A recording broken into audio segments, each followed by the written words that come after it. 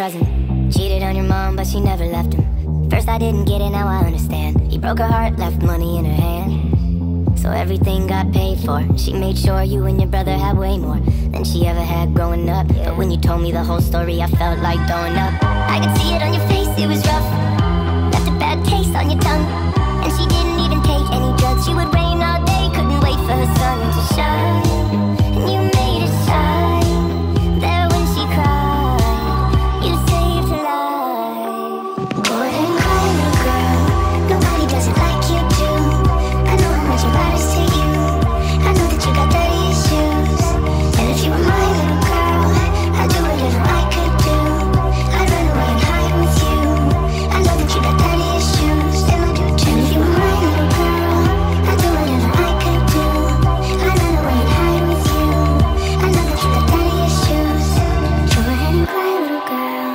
Nobody does it like you do.